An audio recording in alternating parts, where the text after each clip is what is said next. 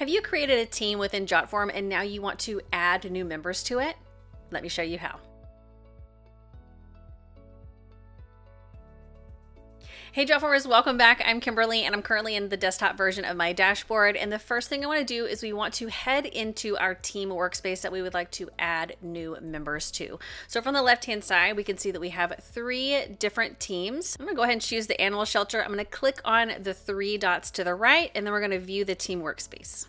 Now from here, there are a couple of different options depending on what you see on your screen. Now, if you have not added any forms whatsoever, there's going to be an invite button right here in the middle of the screen. But if you're like me and you have already added forms to your workspace, there's an invite button in the top right hand corner. So I'm gonna go ahead and invite. And then from here, we also have multiple ways that we can invite people. We can either create a link right here, copy, and we can send it to our new team member, or we can invite them via email. To do that, we're going to type in their email right here.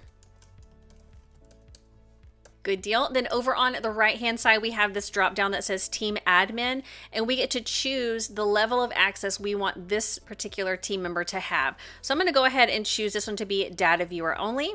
Then we'll send invitation. And we're good to go. We can see right here the green invitation sent to know that it has officially gone through. But it's as simple as that. If you have any questions about how to add new team members to your JotForm team, let us know. If you liked this video and you got some value, be sure to hit that like button down below. Subscribe to our channel and be sure to turn on the bell so you get notification every time we put out a video. See you next time.